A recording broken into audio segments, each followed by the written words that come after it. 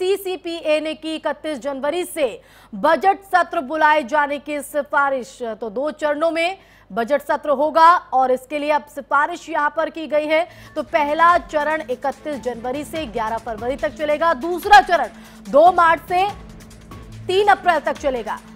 तो आपको बता दें, ये जानकारी यहाँ पर मिल रही है कि इकतीस जनवरी से 11 फरवरी तक पहला चरण, दूसरा चरण 2 मार्च से 3 अप्रैल तक चलेगा। तो सीसीपीए ने ये जानकारी यहाँ पर दी है। तो इस वक्त की ये बड़ी खबर आपको हम बता रहे हैं। तो बजट को लेकर सरकार पूरी तरह तैयारी में है और आम बजट इस बार एक फरवरी को पेश होगा और उससे पहले तमाम तैयारी दो चरणों में इस बार का जो बजट है, वो होने जा रहा है।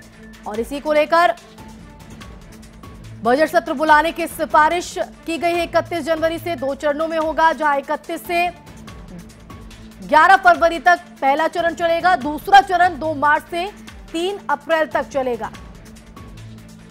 तो बजट सत्र को लेकर जिस तरह से आर्थिक मध्य मरी हुई है, उसको लेकर बैठक भी पीएम मोदी की तरफ़ से बुलाई गई तो आम बजट इस बार भी एक फरवरी को पेश किया जाएगा। बजट पेश होने से पहले पीएम मोदी की खास पहल है। पीएम मोदी ने आम बजट के लिए लोगों से सुझाव भी मांगे हैं।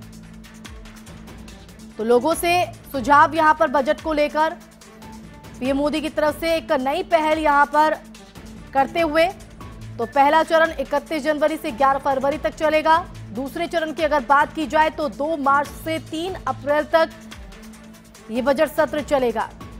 और इसके लिए पीएम मोदी ने आम लोगों से भी सुझाव मांगे हैं और उन्हीं के तरफ़ से दिए गए सुझावों के आधार पर जो बजट है बनाया जाएगा क्योंकि इस बजट से लोगों को काफ़ी उम्मीदें होती हैं और उन्हीं उम्मीदों पर खरा उतरने की कोशिश